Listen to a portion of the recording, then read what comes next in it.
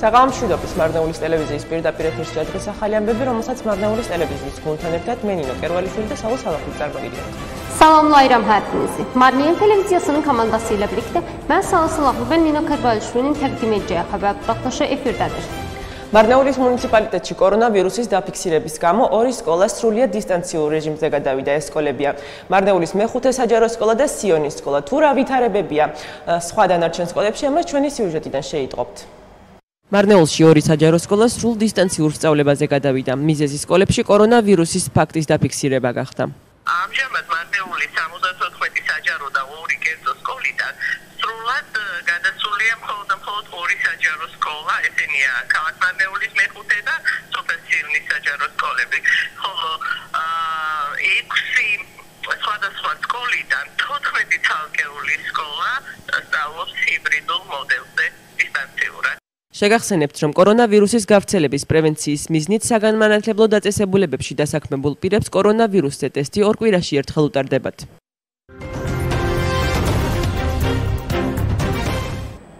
Marniyeli Belediyəsinin iki məktəbi koronavirusa yoluxmalına görə müvəqqəti olaraq bağlanıb. Bununla bağlı ətraflı məlumat hazırladığımız süjeti izləyə bilərsiniz. Mardinildə iki ictimai məktəb tam distant təhsil rejiminə keçib. Buna səbəb məktəblərdə koronavirusa yoluxmalının aşkarlanmasıdır. Hal-hazırda Mardinilin 74 ictimai və 2 özəl məktəbindən tamamilə 2 məktəb distant təhsil rejiminə keçib. Həmin məktəblər Mardinilin 5 saylı və Siyoni məktəbdir. 6 məktəbdən 14 sinif isə yenə də distant rejimdə qalmaqdadır. Xatırladaq ki, koronavirusun yayılmasının qarşısının alınması məqsədi ilə təhsil müəssisələrində işləyən şəxslər koronavirus testindən keçirlər.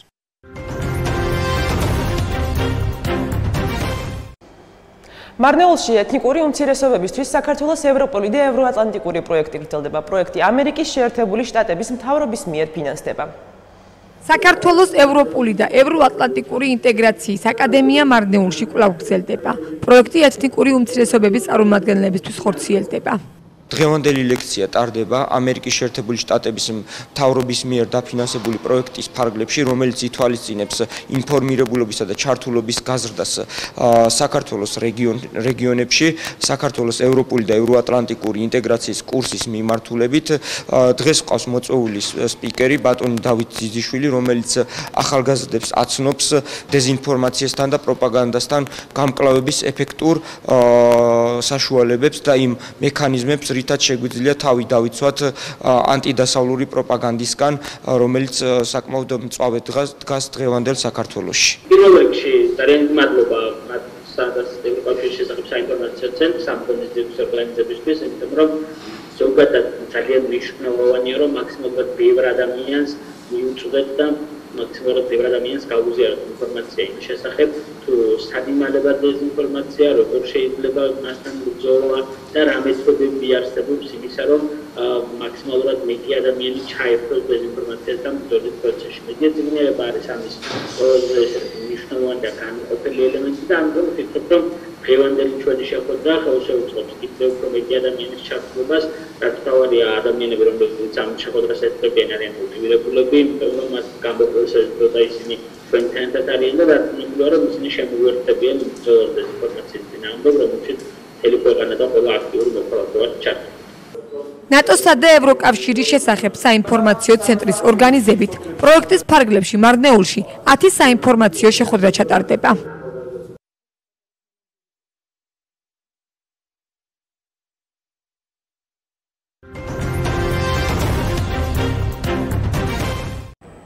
Madniyədə etni yazıqlar üçün təlim keçirilir. Nə mövzu üzərində olduğunu isə hazırladığımız süjeti izləyə bilərsiniz. Marniyeldə Gürcüstanın Avropa və Avro-Atlantik İnteqrasiya Akademiyası davam edir. Layihə etni yazdıqların nümayəndələri üçün həyata keçirilir. დღევანდელი ლექცია ტარდება ამერიკის შეერთებული შტატების Bugünkü mühazirə ABŞ hökumət tərəfindən Gürcüstanın regionlarında Gürcüstanın NATO və Avropa İttifaqına inteqrasiyası yönündə məlumatlığın artırılması layihəsinin bir hissəsidir.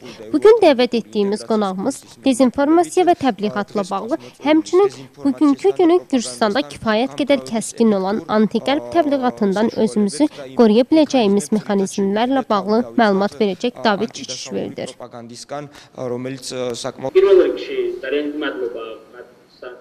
İlk növbədə NATO və Avropa İttifaqı üzrə məlumat mərkəzinə belə görüş təşkil etdiyinə və dəvətinə görə öz təşəkkürümü bildirmək istəyirəm. Ümumiyyətlə NATO və Avropa İttifaqı ilə bağlı insanlara məlumat ötürmək və bildiklərimizi bölüşmək çox əhəmiyyətlidir.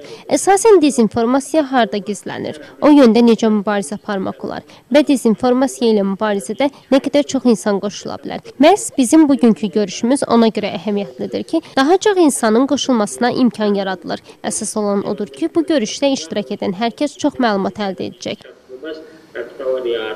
NATO və Avropa İttifaqı üzrə məlumat mərkəzinin təşkil etdiyi layihə çərçivəsində Marnildə 10 məlumatlandırma görüşü keçiriləcək.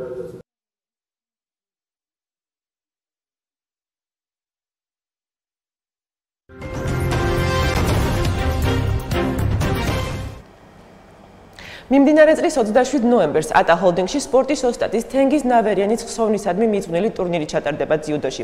დეტალებზე ლელა ხაშილაძე და ეკატერინე ერაძე მუშაობდნენ.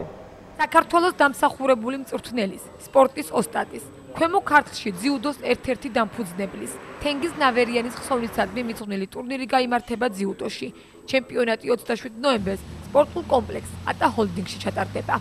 27 ნოემბერს მარნეულში ატა ჰოლდინგის სპორტულ ცენტრში უმასპინძლობთ სპორტის დამსახურებული მოღვაწის, საქართველოს დამსახურებული მწვრთნელის, მარნეულის მუნიციპალიტეტის სპორტული სკოლის დამფუძნებლის თენგიზ ნავერიანის სახელობის რიგით მეათე ტრადიციულ ტურნირს ძიუდოში კლუბებს შორის.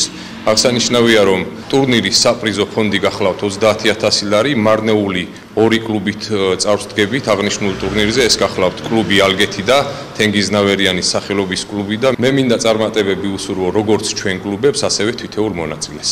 ჩემპიონატის მიზანი ძიუდოს განვითარება, ჯანსაღი ცხოვრების წესის დანერგვა და სპორტის პოპულარიზაციაა. Cari ilin 27 noyabr tarixində Ata Holdingdə cido üzrə turnir keçiriləcək. Turnirlə bağlı ətraflı məlumat hazırladığımız süjeti izləyə bilərsiniz. Gürcüstanın əməkdar məşqçisi, idman ustası Kvemo Karteldə cudonun yaradıcılarından biri Tengiz Naveryanın xatirəsinə həsr olunmuş turnir keçiriləcək. Çempionat noyabrın 27-sində Ata Holding idman kompleksində keçiriləcək. 27 novembers Marneul 27 noyabr tarixində Marniyuda Ata Holdingin idman mərkəzində judo üzrə Marniyuli İdman Məktəbinin təsisçisi Tengiz Naveryana adına sayca 10-cu turnir baş tutacaq.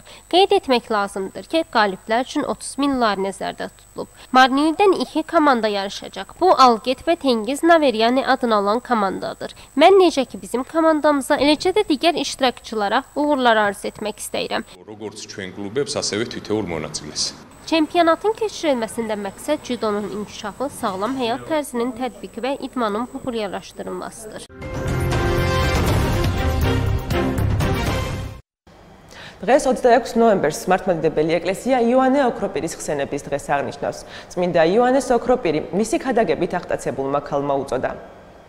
26 ნოემბერს მართლმადიდებელი ეკლესია აღნიშნავს იოანე ოქროპირის ხსენების დღეს. წმინდა იოანე ოქროპირი მართლმადიდებელი ეკლესიის სამიდან ერთ-ერთი ყველაზე დიდი განმანათლებელია, ბასილი დიდისა და გრიგორი ღვთისმეტყველთან ერთად. ქრისტიანული ეკლესიის ბიზანტიელი მოღვაწე იოანე ოქროპირი 344 და 354 წლებს შორის ანტიოქიაში დაიბადა. იგი იყო ეკლესიის მამათაგანი, მწერალი, ბრწყინვალე ორატორი. კონსტანტინოპოლის პატრიარქი 398 წლიდან. მან მიიღო საფუძვლიანი განათლება. მისი მასწავლებლები იყვნენ წარმართი ფილოსოფოსი ლიბანოსი და თეოლოგი დიოდორუს ტარსუსელი. ოქროპირი 407 წელს 14 სექტემბერს გარდაიცვალა კამანში. დაკრძალული იქნა კამანის ეკლესიაში. 428 წელს კონსტანტინოპოლის პატრიარქის წმინდა პროკლეს გადაწყვეტილებით გადასვენებული იქნა დედაქალაქში. მოგვიანებით იგი გადაასვენეს რომში. 2004 წლის 26 ნოემბერს რომის პაპის იოანე პავლე მეორის გადაწყვეტილებით წმინდა იოანე ოქროპირის ნაწილები გადასვენებული იქნა სტამბოლში, წმინდა გიორგის ტაძარში.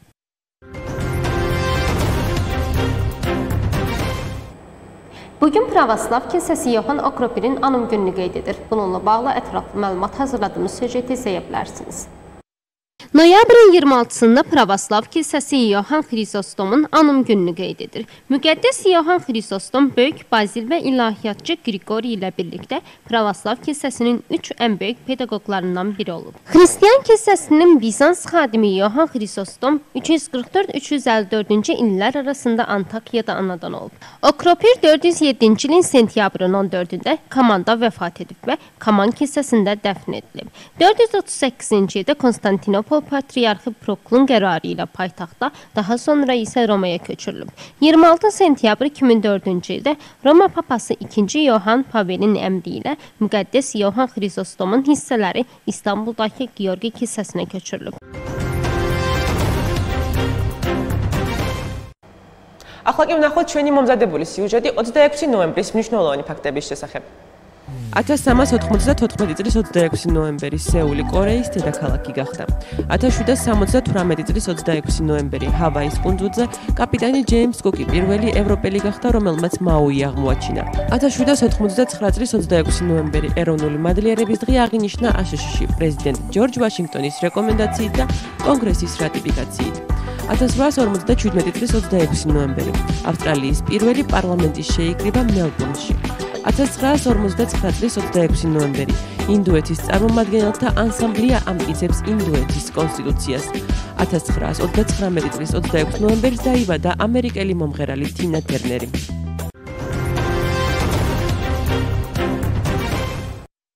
İndi isə 26 noyabrın hansı hadisələrlə seçildiyini izləyək. 26 noyabr 1294-cü ildə Seul Koreyanın paytaxtı. 26 noyabr 1778-ci ildə Havay adalarından olan kapitan James Cook mayını kəşf edən ilk Avropalı olub. 26 noyabr 1789-cu ildə ABŞ-da prezident George Washingtonun tövsiyəsi ilə Milli Şükran günü qeyd edilib və Konqres tərəfindən təsdiqlənib. 26 noyabr 1857-ci ildə ilk Avstraliya parlamenti Melbourne-da toplanıb. 26 noyabr 1949-cu ildə Hindistan nümayəndələr palatası Hindistan konstitusiyasını təsdiq edib. 26 noyabr 1939-cu ildə Amerikalı müğənni Turner Tina anadan olub.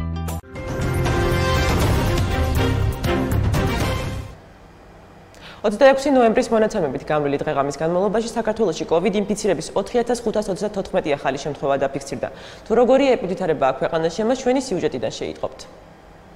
სტოპკოვჯიზე გამოქვეყნებული მონაცემების თანახმად, ბოლო 24 საათის განმავლობაში საქართველოში კორონავირუსი კიდევ 4534 ადამიანს დაუდასტურდა. გამოჯანმრთელდა 3752 პაციენტი. ამ დროისთვის საქართველოში კორონავირუსის 831258 შემთხვევაა დადასტურებული. მათ შორის გამოჯანმრთელდა 7722301, გარდაიცვალა 11810 პაციენტი. 26 ნოემბრის მონაცემებით каранტინის რეჟიმშია 58 პირი სტაციონარში მეთვალყურეობის ქვეშ 6574 კლინიკურ სასტუმროს სამროში მყოფი პირები 1166.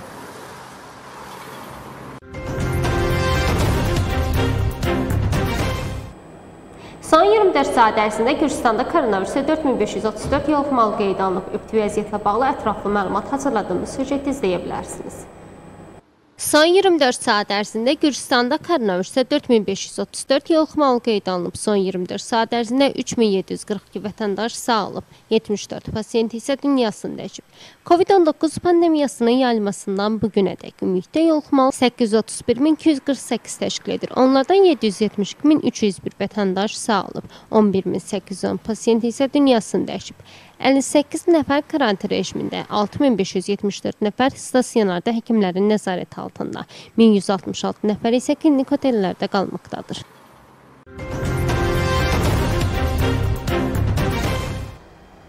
თქვენ ახლა წინ ხვალინდელი ამ დის პროგნოზიკელი ჩვენ კი კეთილი სრულებით ორშაბათამდე გემშვიდობებით ნახვამდის. Bugünlük bu qədər sabahın hava proqnozu siz gözləyir. Sağ olun, salamat qalın.